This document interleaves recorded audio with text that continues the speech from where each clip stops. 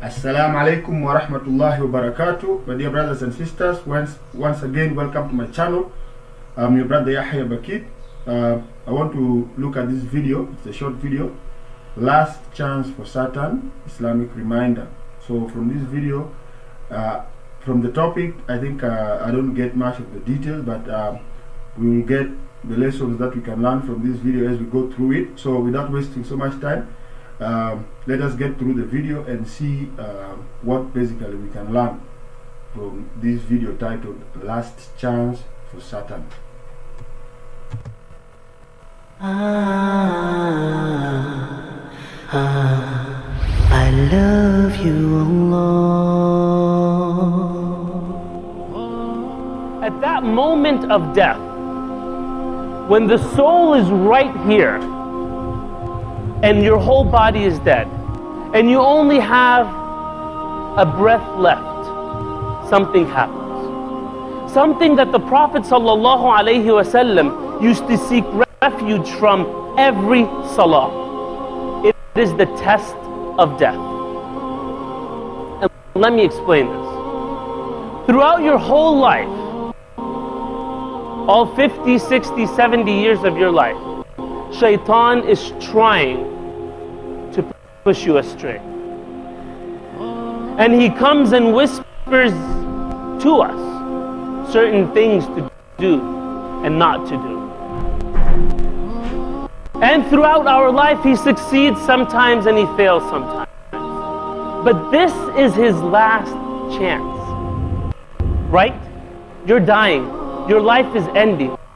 And he only has one chance left to push you astray. So he will come to you in the form and shape of someone that is dear to you that has died before you a mother, father, son, whoever. And he will come up to you at that moment when the soul is about to leave the body and he will tell you, Ahmed, I am coming from the unseen world. The true religion there is not Islam. It is something And you have that split second to decide. But brothers and sisters, the challenge is it's not up to you. It's not.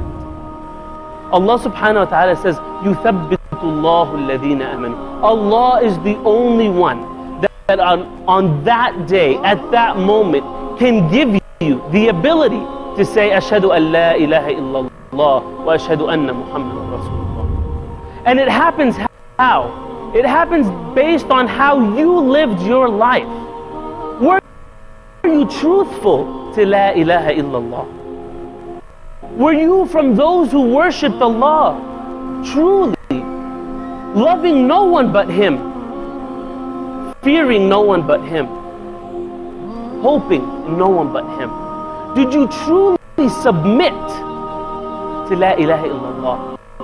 Or was it just words that came out of your mouth? We can all, mashallah, we can all say Islamic words, Assalamu alaikum, brother, Jazakallah khair, Barakallah feek. We can all use these words. But what's inside, only Allah knows. You and Allah. You can, be, you can look, appear to be the most pious person in this community. But only Allah knows who you really are. And at that moment, brothers and sisters, the real you comes out.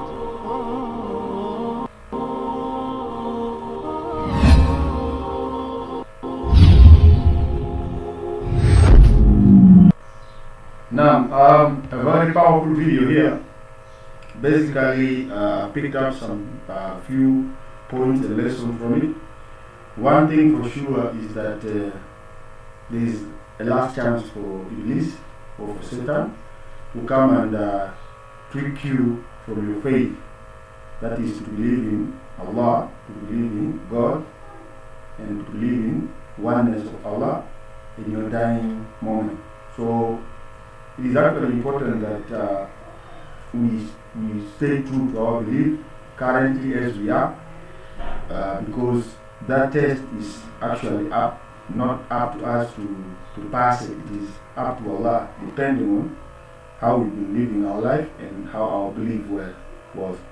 So let us not appear to be believers, let us actually be believers. That means we believe in the oneness of Allah without associating any partnership or any kind of um, uh, worshipping other than Allah, which is so helpful, helpful, especially on our last day as we breathe our last breaths.